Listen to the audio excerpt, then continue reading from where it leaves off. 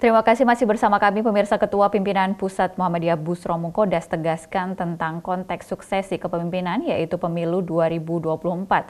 Menurutnya para pemimpin yang terpilih dan diamanahi menjadi pengelola negara harus menjadi sosok negarawan sejati yang lebih mengutamakan kepentingan bangsa dan negara serta di atas kepentingan diri maupun kepentingan lainnya. Salah satu topik kemarin di dalam muktamar itu isu-isu kebangsaan, keumatan, dan kemanusiaan universal. Itu pun isu-isu yang merangkum isu-isu yang datang dari pendekatan top down, pokok-pokok pikiran dari tim pimpinan perusahaan Muhammadiyah. Tapi sebelumnya itu lewat diskusi-diskusi di beberapa daerah, lewat perguruan-perguruan tinggi Muhammadiyah di beberapa daerah jadi bukan isu yang sepihak dari PP Muhammadiyah enggak. Nah, kemudian kita berikan kepada pimpinan daerah, wilayah dan seterusnya tiga bulan sebelum muktamar. Kita sudah wujudkan dalam buku yang tebal kita berikan mereka mempelajari. Setelah mempelajari dalam muktamar mereka diberi kesempatan untuk kemudian memberikan satu pandangan-pandangan. Pandangan itu kemudian kita rangkum kita balikkan di dalam muktamar itu pada hari terakhir.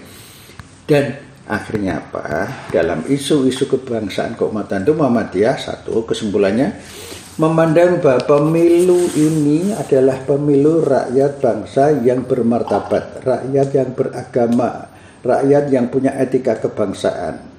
Etika kebangsaan itu ada di dalam empat paragraf UUD 1945 Pancasila masuk di dalam di dalamnya ya. Nah, dua.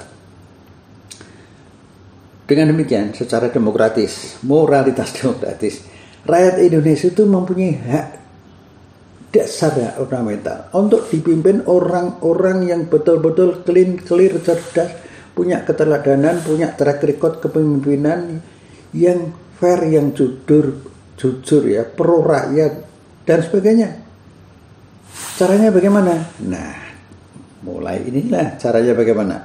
Kalau saya bandingkan dengan Muhammadiyah yang tadi caranya secara garis besar kita dari bawah, kalau ada orang misalnya tidak memenuhi syarat tidak akan diajukan itu pasti pasti akan gagal dari bawah gitu. Dan nggak ada apa namanya calon drop-dropan itu nggak laku di Muhammadiyah. Itu bertentangan dengan karakter orang Muhammadiyah se Indonesia. Sekarang bagaimana pemilu di Indonesia ini? Ya, Siapa yang bisa merasakan kenikmatan kalau misalnya presidennya itu presiden yang jujur? Rakyat kan? Ridho Allah kan datang. Sebaliknya calon eh, presiden yang tidak jujur. Ya, berbasis pada apa namanya? suap, bribery. Bribery itu sumbernya triliunan rupiah. Dari mana duit itu? Dari maaf cukong. Cukong-cukong yang bermasalah.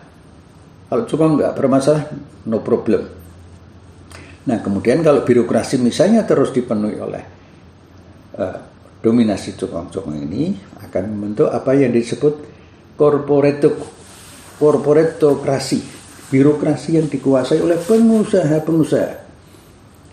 Fakta menunjukkan pengusaha di Indonesia itu ada yang disebut dengan oligarki bisnis. Nah, oligarki bisnis inilah yang menjadi pemodal oligarki politik. Jika ini terus dipertahankan, maka persoalan kebangsaan ini akan berpengaruh kepada pemiskinan rakyat. Pembunuh rakyat secara pelan-pelan, pembunuhan rakyat secara pelan-pelan, secara ekonomi, politik, kebudayaan, pendidikan, dan sebagainya. Yang itu bertentangan dengan kebangsaan dan agama. Nah oleh karena itu ketika kami teliti, sesungguhnya pemilu itu hanya ada dua pilihan akan dikembalikan lagi kepada kemurnian UD 45 di mana pemilu itu hak dari rakyat dan rakyat itu satu satu satu saya yang disebut. Kedaulatan berada di tangan rakyat bukan negara bukan pemerintah apalagi cukong apalagi calo-calo politik. Bagaimana menghormati ini? Secara jujur dan cerdas terbuka transparan. Ya kembalikan pada aturan-aturan pemilu. Nah undang-undang pemilu undang-undang partai politik ya, undang-undang pemilu, undang-undang pilkada ini tidak menjamin sampai sekarang ini orang-orang yang terbaik, jujur, terukur itu bisa dipilih.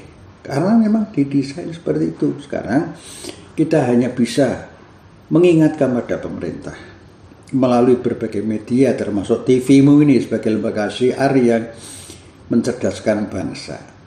Kita ingatkan dengan cara yang baik karena pemerintah ini juga pemerintahan kita sambil kita berdoa pada Allah.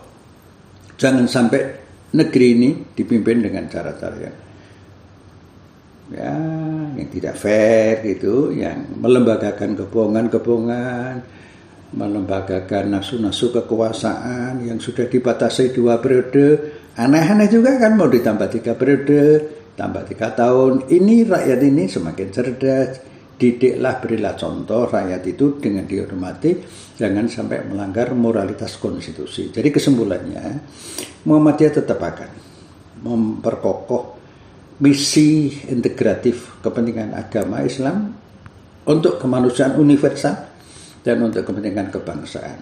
Sebaliknya kita berharap akhiri cara-cara yang menggambarkan kebodohan-kebodohan budaya berpolitik.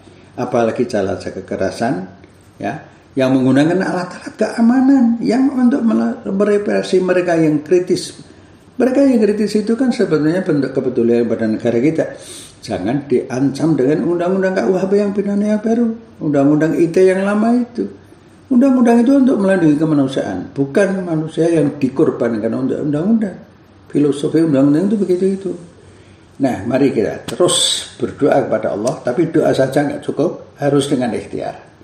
Ikhtiar Muhammadiyah tetap akan Muhammadiyah itu akan lugas, tapi tegas dan santun seperti selama ini. Begitu saja. Assalamualaikum warahmatullahi wabarakatuh.